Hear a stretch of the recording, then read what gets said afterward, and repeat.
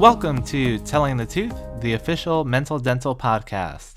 I'm your host, Dr. Ryan Gross, and I'm joined today by my co host, Dr. Laura J. Cox. Hello. We have an excellent episode with Dr. Steedle today, and he's truly an expert in the realm of practice management. And I'm so excited for him to share some of his pearls of wisdom with all of the listeners out there. I'll be joining the interview a little bit late um, due to a prior commitment, um, but I'm very excited to talk to Dr. Steedle. He was a critical part of my uh, residency education. Um, the practice management curriculum runs through all three years of the UNC orthodontic residency program and is a critical part of what we learn. Um, you know, practicing dentistry is one piece of the puzzle, but learning how to manage staff, interact with patients and families, and build the positive working culture that we all hope to work in is just as important to our success as the dental school component and um, i credit him with you know a huge amount of the knowledge i went into practice with and cannot imagine having gone into practice without um, having the the core concepts that he taught us and, and my co-residents. And so i'm i'm thrilled to have him on the program today. I could not agree more with you laura. So with that i hope you all enjoy the interview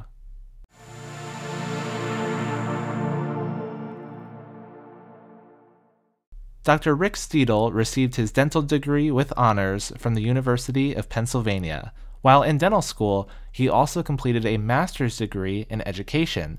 He then received his master's degree in orthodontics at UNC, where he was awarded the Morehead Fellowship in Postgraduate Dentistry and an NIH Research Training Fellowship. After orthodontic residency, he and Dr. Bruce McLain built a three office orthodontic practice with a staff of more than 25 employees near Winston-Salem, North Carolina. In 2005, Dr. Steedle joined the part time faculty at the Department of Orthodontics. Since then, he's developed a three year curriculum in practice management for the residents, which includes more than 100 hours of instruction and a 700 page manual. UNC now has one of the most comprehensive practice management residency courses in the country. Dr. Steedle has also published several articles on practice management and has spoken nationally and internationally on the topic of the successful, not stressful practice. Thank you so much for joining us today, Dr. Steedle. It's great to have you. It's my pleasure. As we mentioned in your introduction, your expertise is in practice management, and you've specifically spoken on the successful, not stressful practice. And the premise there is you know it's easy to have like a low success low stress practice or a high success high stress practice but it's much more challenging to develop a high success low stress practice. So first could you give our audience a little backstory about maybe your winston salem practice the reidsville practice and some of the lessons that you learned uh, through that journey well, I was very fortunate that uh, when I first uh, left residency, I actually went and taught at, at, medical school. There was a department of dentistry there. I did that for about four years, and then became dissatisfied with that. Then we set up a, a practice from scratch in Winston Salem with actually a, a fellow uh, resident classmate of mine. Uh, so we started that from scratch um, and began to build that. Um, it it went fairly well, but then we kind of went into a crisis at about our eighth and ninth year where he and I weren't getting along, staff weren't getting along. Um, we were actually thinking about dividing up the practice. Um, but fortunately, I was with someone who was a quality person, and we decided to resolve our differences and work on. But the material that I that I talk about in practice management really comes from that crisis, because you know I think all of us leave the residency with a fairly good knowledge of clinical orthodontics, but don't have much background in running an orthodontic practice. Um, and so we set out during that, after that crisis and, the, and our commit, recommitment to each other to try to really change the way we did things. And we, you know, we searched, I mean, I personally searched conventions and things, but most of what I was getting from them at the conventions was this I, you know, the, here's a neat little trick you can do that with your staff to you know get them motivated and just little tricks. And i was looking more for you know the real fundamentals on how to run a practice.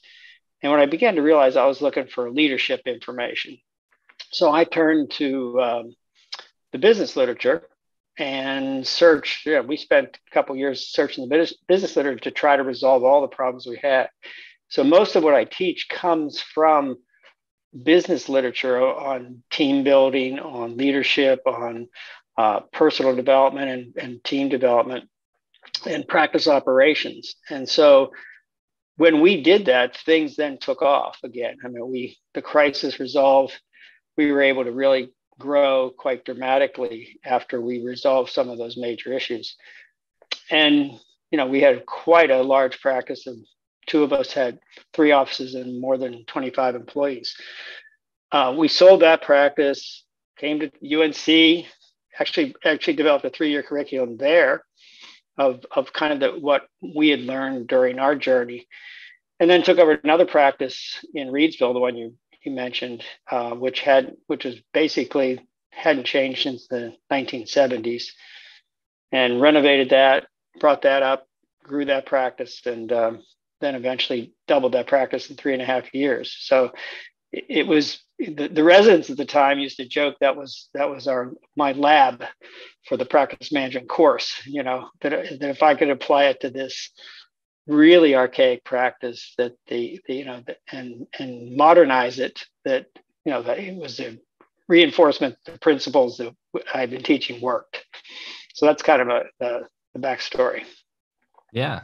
Uh, one of your big mantras that um, you talk about in that practice management course that we have is you know thinking about creating systems rather than thinking about solving problems um, could you mm-hmm. talk to our audience a little bit about management by design like designing systems versus just crisis management trying to put out fires right what we didn't realize before our crisis and did realize after is that problems are byproducts of the system and its execution mm-hmm. which means that what most of what goes wrong is really a systems problem, not a people problem.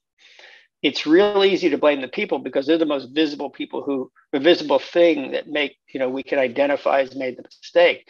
But if we haven't done our job of creating a really good system, given them good training, been very clear in our directions, and then there's no way even good people can do well.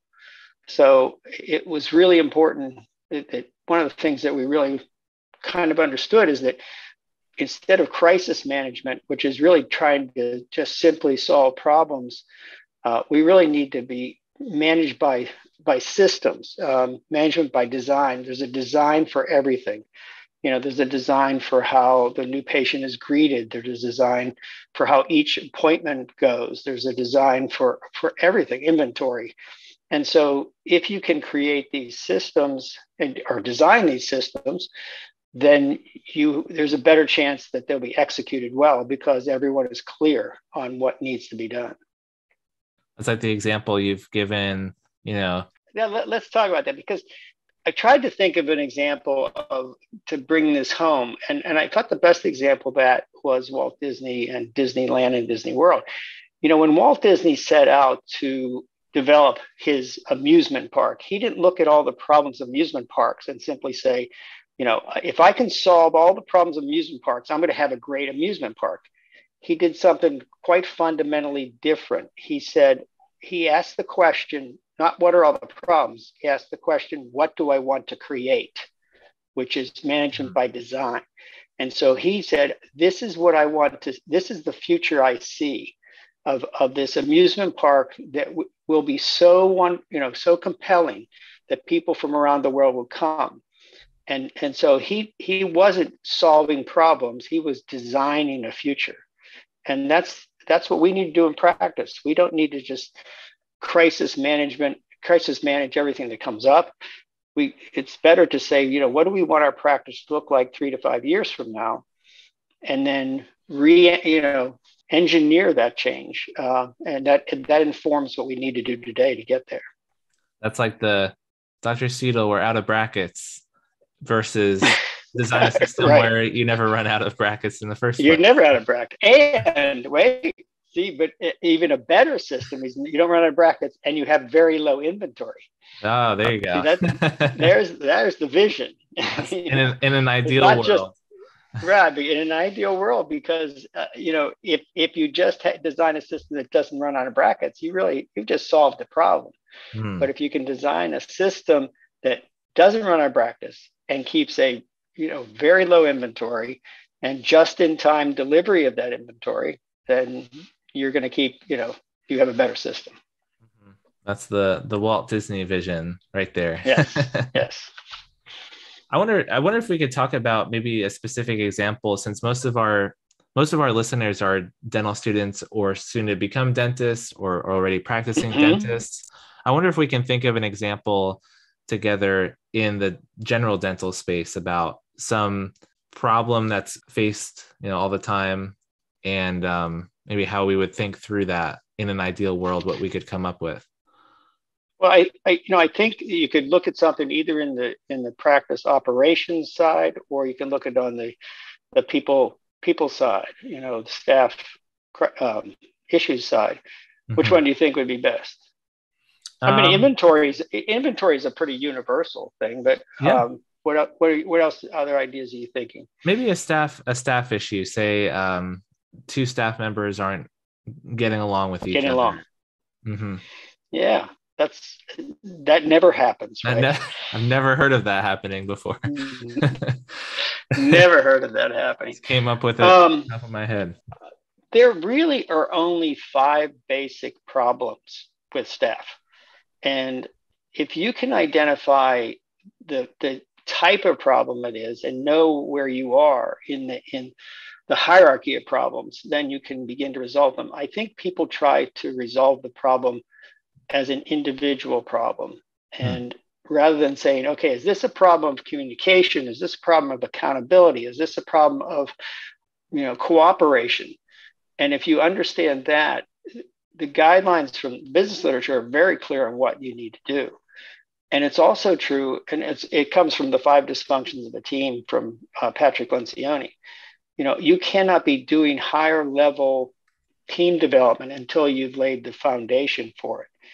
And you know, the foundation obviously is is getting people to cooperate, and then getting people to communicate well, making you know, getting people to be accountable and then and then you can get the good results. And i think what most dentists do orthodontists too is try to get great results without laying the foundation of a great team synergy.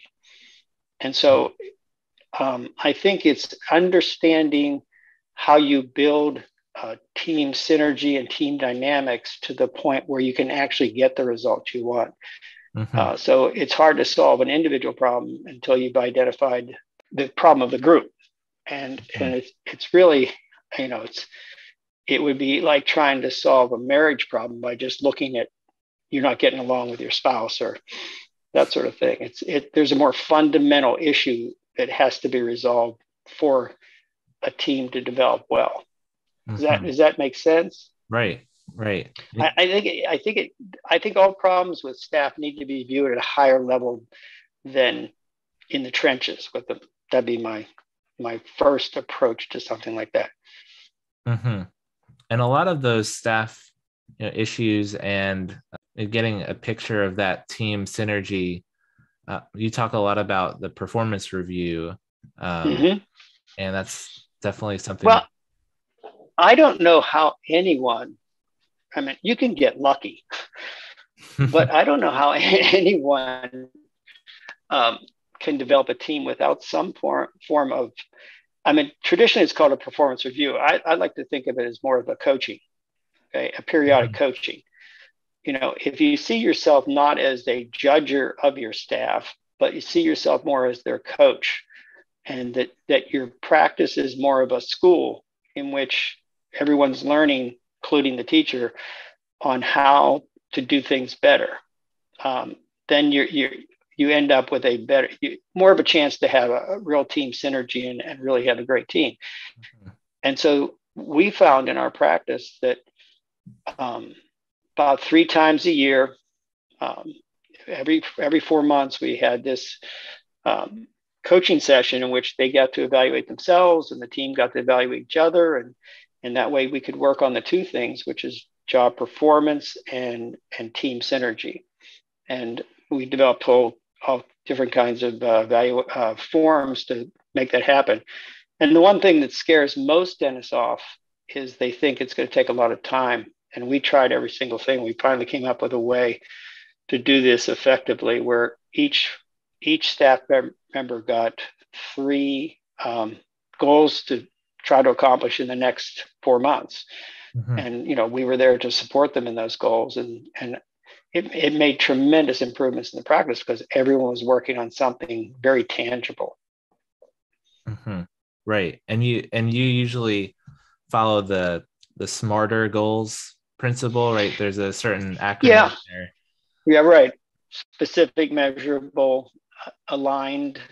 There's many different ways to break down the SMART, S M A R T. Right. Um, the ones I like the best are specific. You have to be specific about what they're trying to achieve. It has to be measurable because you need to know whether it was accomplished or not.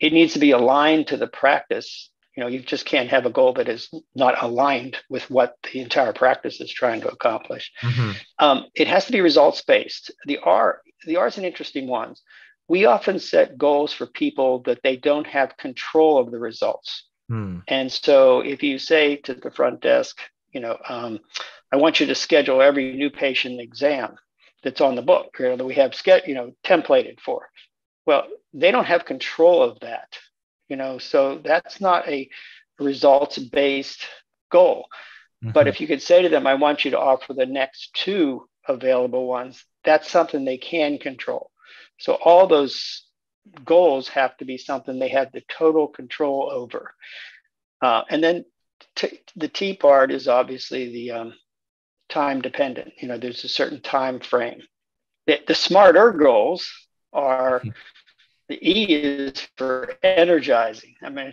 you, you want it to be something that kind of jazzes you up a bit. You don't want this to be a drudgery. And then the R is they have to be recorded. You have to write them down. I mean, you can't expect someone to remember four months later what their target was and what they were expected to do. Mm-hmm. So that's the smarter version of the SMART goals. Right. Yeah. No, I think that's really, really great to have some achievable goal but and then uh, writing it down is definitely a big one because if i don't write down something it's it's not usually happening i'll forget right and it. the power the power of those coaching sessions let's say you have eight employees well you just came up with i'm doing the math quickly 24 is that correct mm-hmm. 24 specific things that your practice is going to accomplish your team is going to accomplish over the next four months well that's 73, is that right? Yeah, 73 in a year. Well, that, I mean, 73 specific improvements to the, pe- the people's either per job performance or, or synergy with the team that um, can make dramatic improvement year over year. Mm-hmm. Right. And then you're periodically coaching those people and you're accomplishing those goals and adding new goals and just right every they, they come back they say okay we got these three let's let's get three new and and you wonder i mean th- this is not just people who need help i mean these can be people who are already excelling and you're going to be giving them more and more responsibility or giving them more leadership roles in the practice you can take your great employees and make them leaders mm-hmm. themselves and a, a, form of middle management. And that, that may be their goals, and as opposed to, you know, I want you to get faster at, at the chair or whatever is somebody who's new into the practice. Mm-hmm. Absolutely. Well, you've talked about you know your five steps a practice owner can take to you know make this transition of creating systems that mm-hmm. create a high success, low stress environment. And I was thinking we could go through those one at a time to sure sort of a blueprint for our listeners. Well, right. one of the things, yes, let me, um, what I talked about at that meeting um, that you're referring to was, I mean, we all hear from Michael Gerber, we should work on our practice, not just in it. But there's no any sense of, well, how do you work on your practice and not in it? Mm-hmm. And so what I presented there were the five steps to how to work on your practice. Um, and my what we've been able to do in the two practices I, or three practices I was involved with, and others that I've uh, helped uh, in practice, are to say we can't do five things at once. We have to do maybe one or two things at once.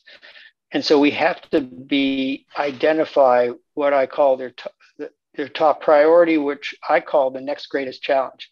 And the next greatest challenge really is if everything else remains the same, what one thing, uh, if we can accomplish, will move the practice forward the fastest. And so the five steps of continuous improvement are identifying that top priority and then uh, there are steps to analyze that issue in a way that doesn't see it as an individual problem, but as a, a problem that is part of a larger issue. If we can analyze all the contributing factors, then we can begin to plan a comprehensive solution, which is step three plan the solution. So, step one, identify the top priority. Step two, analyze the issue. And step three would be not a quick fix. The solution is a comprehensive uh, system development that will not only resolve the one issue that we might be troubling us, but all the related issues. The step four then would have to begin to implement that plan, you know, which is all the training and all the execution of that plan and beginning to look at does, is this plan working? Is it giving us the results we want? Which comes to step five, which is you have to revise the plan. All plans need to be revised uh, because all plans for, say, uh, uh, you know, the inventory we talked about, or a plan to how we're going to handle the new patient all the way from when they call the office until when they actually start treatment. All those plans, um, we're we we don't know something, and we have to put that plan into the world and have that the world tell us, here's where you forgot something, and then we can revise that plan. And once we've tweaked that plan and tweaked that plan, then we can finally adopt it as the new standard for the practice. And the, and the important point of this is that it's a written plan, meaning that anyone in the practice can say, you know, how do we handle inventory here? And they can go in the, the, the manual and say, here is our written system for handling inventory. Here's our written system for how we handle a new patient by the time they call until they get started yeah, or any other system that you might have in the practice. So not only does it become a way to have a reference to what how we do things in this in this office, but it but it, it becomes a record of that. But it also becomes a training manual for all new hires. Mm-hmm. So it's not as if you know all of a sudden your financial coordinator has is going to move to Minnesota.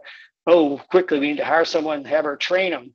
No, all the all the financial systems are in a book of how you do everything, and that becomes the training manual for for whoever becomes the next financial coordinator. Right. So there there there are two books. There's the clinical manual and there's the administrative manual. So each time one of these systems are developed, it's put in the manual, and then you go to the next greatest challenge and begin to solve not problems but issues and and to the point where things then become very things work and they work st- with low stress mm-hmm. right and to your point no system is perfect and you say you know right. you try to create a system that results in fewer problems of lesser impact right really yes. no so yeah yeah there, there are no perfect systems so it, all you want is fewer problems of lesser impact and and and it just tells you just continue no system is set in stone. It just has to continually be tweaked because the world is ever changing. So our systems have to continue to be refined as things change. I mean covid came uh, right. uh, even historically women working changed the way we have to handle things. So mm-hmm. the world is constantly changing. We just have to keep adapting to it. Mm-hmm. yeah absolutely. Well let's work through can we talk about say one big problem that I know as you know in the orthodontic space we deal with broken appointments all the time. General dentists. I'm sure, are dealing with broken appointments. Let's say that you know we have meet with our team, list out the key frustrations, and that's one of the big ones is that patients are constantly no showing. Um, mm-hmm. you know, how would we kind of run through that five step process to maybe think about dealing with improving our systems to deal with broken appointments? Let's say that, let's say we've identified that is really our production is being hurt in a general dental office because people are breaking appointments. Right. I'm going to introduce a concept that I don't think a lot of dentists think about is that we have to train our patients. In other mm-hmm. words, if there's no consequence for a broken appointment, then if something better comes up, they're going to break the appointment. Mm. Yeah. So I think what we have to do first is ask the three questions that we talk about in the um, in the meeting. Was the first question is what are all the problems? So we would sit down with our staff and say, you know, what are all the situations in which people break appointments? Because what, what are all the problems related to that? And then the second question we ask in that, so they may be, for example, patient can't get off work or patient doesn't call and, and tell us or patient calls in the morning and, and tells us they won't be there at nine o'clock when it's already 8.30 you know there you can just list problem after problem after problem. The next step in creating the vision of what we want is to say so what do we want instead? Well we want them if they know there's a change in their plans to call us as soon as possible okay now, at this stage, we don't know yet whether they how to how to fix it. And I think what tends to happen when we go into these meetings with staff is we start thinking of solutions too early. Because if we start thinking of solutions at that stage, all we're doing is still fixing problems. So the first question, what are all the problems? You brainstorm all the problems, all the situations in which patients break appointments, all the excuses they've given us, everything. Then you say, what do we want instead? Which you say, um, you know, we want them to call us as soon as they know. We want them to give us at least this much notice, whatever those come up with. But there's a third question that very few practices ask, and that is the third question is in an ideal world, what would we want? Okay, so an ideal world, what we want asks a fundamentally different question because it's not problem solving, it's visioning. And so, for example, in an ideal world, we want to be able to fill that appointment, even though they broke it. Well, again, we don't know how yet, but that's one of our visions. In an ideal world, we want um, to be able to extend an, er- an earlier appointment into that appointment so that we continue to be productive. So these are the questions where we brainstorm ideas that are not answering problems or being the reverse of the problem. It's simply you know, it's the what I call the Disney question. You know, in an ideal world, what would we want? It's only then do we begin to think about solutions, because now what we have is our vision, our vision of what what we're going for, and it's not limited by simply problems. It's or it's not limited by our experience. It's limited by our. It's not. It's now being used our in our imagination of what's possible. And that's how you would work through that. And obviously, that's not one meeting, that's a series of meetings in which you go through this process to come up with that vision. Then you begin the process of planning solutions. Yeah. Now, you want to talk about solutions? Yeah. The best, best solution is what? The case principle, right? Yep. Copy and steal everything. Meaning that there's no reason if we have a problem in our practice, dental practice, orthodontic practice, pediatric dental practice, someone somewhere has solved that problem. And we don't need to reinvent the wheel. We need to go find that solution, eh, bring it back to the practice, and then tweak it because every situation is different and adopt it. Because the fastest way to get solutions is not rack your brains and trying to figure it out. I mean, there what 100,000 dentists and, and and there's a long history of dentistry. Somebody's been able to solve this broken appointment problem, and we just need to go and find it. This is the where I think the role of consultants is the best. I don't think consultant. I personally don't like consultants. I wouldn't have a consultant come into my practice and take over my practice, but I would have find a consultant who is really good at something, whether it's broken appointments or scheduling or whatever and bring them into practice to help me uh, resolve an issue that I'm having. Mm-hmm. And, and essentially what I'm doing is copy and stealing that person's system. You know, so that's, and then I'm going to, you know, our, our practice is going to tweak it because every situation is a little different. Exactly. Someone, but, someone has dealt with this problem before and yeah, yeah, no, no point reinventing the wheel and wasting time on that, all of that groundwork. Right then the next step of that let's just take this broken appointment we've we've we've come up with a solution that seems to work. We need to do some training and we need to do so that everyone understands their role in that system you know? And so it, it's got to be written down. Everyone who is going to implement that system has to understand it anytime you train you're going to have to retrain. None of us do it right the first time. Sometimes the second and third time we don't do it right. Mm-hmm. And we, as the leader of that practice, have to understand that our staff is not going to do it perfectly for a while. That there is a learning curve on any new system implementation that has to has to be. And we have to support them. And when something goes wrong or something someone's not following the system we don't say we don't get upset with them. We just say hey let's go look at the system and see which step was missing and that they got this different result. And then and then tweak that system and and refine that system until finally it says you know i think this is covering most of the issue of broken appointments as best we can, can and that becomes the standard operating procedure for our practice. Yeah. Does that yeah, answer absolutely. for you ryan?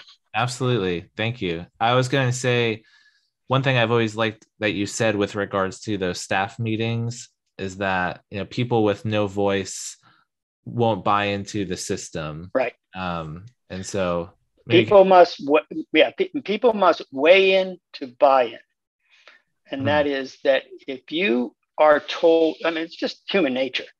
If if someone comes to you and say says okay this is how we're going to do it and you don't have buy-in with that but if you sat down with that person in, even in your personal life and you've worked out a, a, solution together it becomes not their system but our system.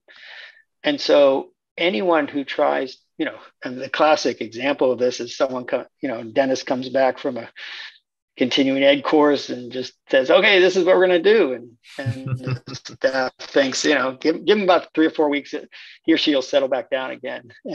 But it, it's not their system uh, or it's not their you know it's not theirs.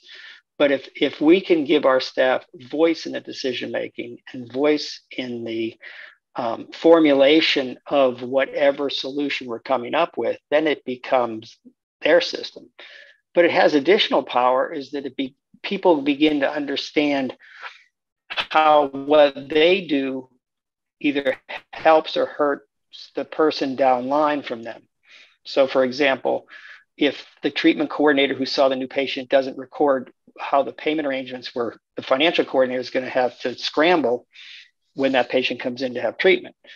But if there's a coordination of effort because the treatment coordinator now knows that if she doesn't, he or she doesn't get it to the financial coordinator in time, that's going to adversely impact the financial coordinator, then there's more likely they'll, they'll go ahead and get that information to them. So people are in their own silos sometimes and don't see the impact of their behavior on the others. But when you sit down together and formulate a system together, you see the impact of everything you do, how it impacts the next person in line of that system, but also why you need something from the person earlier up upstream from that system to make sure you can do your job the best. Mm-hmm. And that's what you really formulate those staff meetings, those brainstorming sessions, you can just kind of say whatever crazy idea you want and there's no judgment in terms of the yeah problem. that's that's the yeah. yeah. that's the principle of brainstorming the idea of brainstorming if you look it up is that there's no judgment so for example when we were coming up with our uh, collection system someone suggested a you know a bank deposit box where they could put in their payments you know well everybody laughed but it, usually those crazy ideas have a have an idea within them sometimes and so that's the idea the power of brainstorming is that people play off each other with good ideas mediocre ideas crazy ideas and it spurs more thought especially when you're trying to come up with those in an ideal world type situations. Mm-hmm. Hey, Laura. The, hello. Uh, the the staff have a unique perspective because they're the ones directly in, interacting with the situations that oh, they're managing, gosh, yes. and so their mm-hmm. feedback is so critical in terms of how to implement a system in, in that particular practice with that particular patient base, and having their input is is critical both for it succeeding and also for their buy-in it i can i can honestly when i'm talking to my front desk or or the people who are in the administration i can honestly say to them i don't know what goes on up there you guys you know in the trenches you're the ones that have to inform me because i'm only guessing of how it goes you guys know how it goes and so i mean you really have to trust your staff to to be able to give you that information otherwise you're working with partial information Yes. And you're not going to get as good a solution. Yeah, absolutely. Um, is there anything else, Dr. Steedle, you think we that I missed? I know we talked about. I think the biggest point that is missed is that none of this stuff happens unless we get become better leaders. I mean, unless we develop our skills of working with people, working with relationships, building a relationship with the staff. And I don't mean just being friendly with them, I, I'm talking about building a very tight, meaningful working relationship in which not only do you enjoy being with these people, but you enjoy accomplishing things together. And that, that it all starts with us to be able to develop those leadership skills. And gosh, there's a, hundreds of books on leadership that that if if we don't if our practice isn't working well and our team isn't working well, the first step isn't to look to them. The first step is look to ourselves and to begin to see what do we need to be doing differently. Um, you know, it's not what it, it's it's not what we do a lot of times. It's who we are that makes the difference in that in that team development and you know improving practice operations. And I think that's the that's the point where you know, all of us have studied dentistry thoroughly and go to continuing education courses to get better at being dentists and orthodontists and specialists. But, you know, how much time do we spend learning to be better leaders? And that's, if, if there are problems in the practice, that's where you start, is to start reading and the wealth of information that's out there about how to how to be a better leader. Are there any books or resources in particular that you'd recommend people to check out for? Leading? Oh gosh, yes. I'd I'd listen to everything by Simon Sinek on the YouTube. Um, anything by Patrick Lencioni uh, in terms of team development. Um, I, I'd, I'd be looking at the Michael Gerber stuff on systems. Um, there's there's a whole group, and I could probably put together a little list of, um, you know, oh, oh, um, Stephen Covey's book was the one that really just put the light bulb in my head when I read it, you know, and that, that's that's that's that would be a good place to start. I, you've also put together a huge number of resources that are available um, online. Where would which of your resources would you recommend, and how can our listeners access them? Well, I mean, I have a website which is uh, not not surprisingly successnotstress.org. Uh, one word, obviously, success.stress.org. And what I've tried to put there, and, and I'm still I'm still developing it, is there are 15 ideas that every leader should have in order to run a practice, and if and that's a very foundational understanding of of the three areas that I think are important, which is personal leadership, practice operations, and team uh, d- dynamics and synergy. And these are the probably the best resources. I mean, they're gleaned from. I copied and stole everything, and just translated into dentistry. But it it, it was tr- kind of the best ideas that I thought that were essential to know to, in order to run a successful and, and not stressful practice so that that's a that's a good resource. I've written several articles that you can access there as well, and there's some videos. My ambition for the new year is to do more video on that, but uh, we'll see how that develops. Awesome. Is that what you're referring to? Yeah, absolutely. I mean, I've I found your website and resources really helpful, and I think our, our listeners will as well. Mm-hmm. Thank you. Definitely. And we can include a link to all of that in the description of the video so people can check out your website and the books and everything that you recommended for sure. Okay, sure. Thank you. That's what it's there for.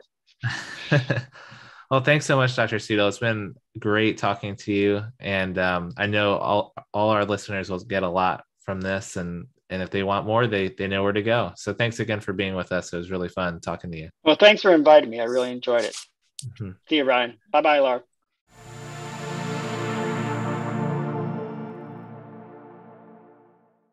All right. So that was a great, great talk with Dr. Steedle.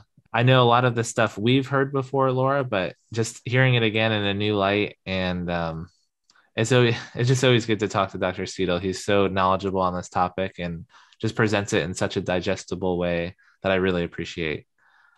I do too. I mean, his his main axioms of practice management are always playing in the back of my head and have really guided um, the way I interact with with our staff and the systems that I've put in place since joining the practice, um, and and the way that we approach um, you know updates and changes in our practice. I also really value his viewpoint of you know copy and steal everything, where mm-hmm. you know we're kind of taught throughout school to you know never copy people's work which which is true when it comes to school. But when it comes to running a practice it's always best to take tried and true concepts and apply it in your own business um, in a way that can help make things better for both your patients and your staff and yourself. Exactly. And we didn't get a chance to talk about this during the interview but he's talked to us about lead goals and lag goals and i know a lot of the temptation out there is to just focus on the end goal or the lag goal, which is, you know, I want to hit a million dollars of production this year, or, you know, I want to lose 20 pounds this year, or whatever the goal may be.